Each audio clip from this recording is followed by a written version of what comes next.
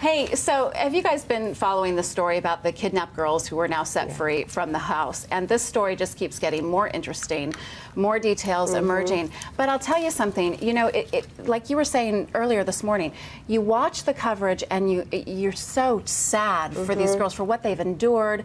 You know, the, the one girl losing her mm-hmm. mother, her mm-hmm. mother died before she ever got to see her, her rescued.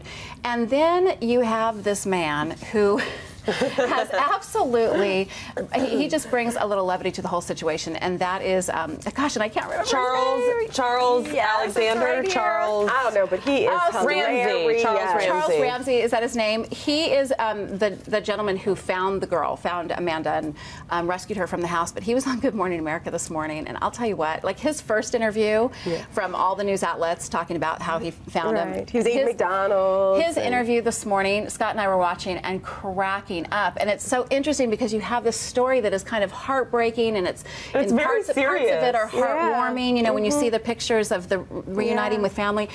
And then this man comes on and just breaks the ice, right? You up. He yeah. is It's like writers so couldn't write a better monologue or script for him. Like it's they couldn't so write better answers for this man to characterize in an interview. Like yeah. he's like a character no, in and of himself. And what I love about it is that he really isn't a character. Like no, that's he's really not faking how he it. Because like he had no idea you know, the night before that yesterday morning his life was going to be completely changed. Yeah. And it was all because he was helping somebody. He needs so a reality trying, show. But he wasn't trying to get attention.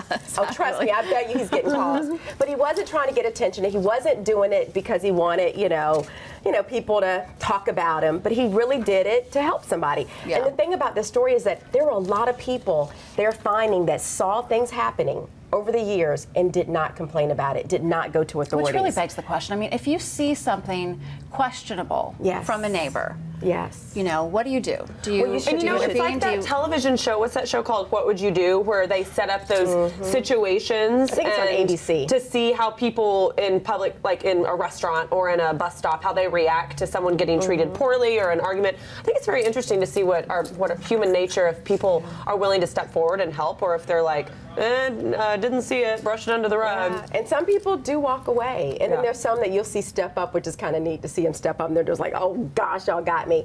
But it tells you the hearts and minds of, of people today. Mm-hmm. But they're telling people if you see stuff, call 911. It's better to be safe than sorry. Right.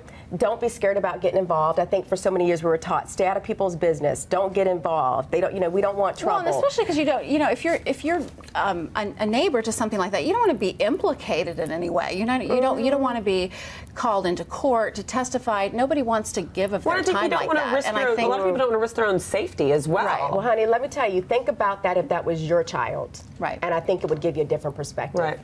Probably true.